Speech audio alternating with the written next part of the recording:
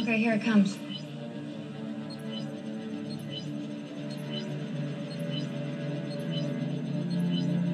That's it. More math. This doesn't make sense. It feels like Einstein made it impossible. Not just that he didn't want the wrong person to find the clock, he didn't want anyone to.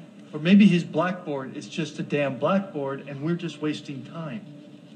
Wait, I think we missed something.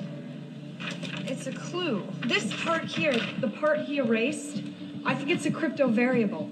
So what does that mean? It means that the part he erased from his blackboard isn't a math problem, it's a math solution. Like a decoder? Exactly. But a decoder for what? Well, maybe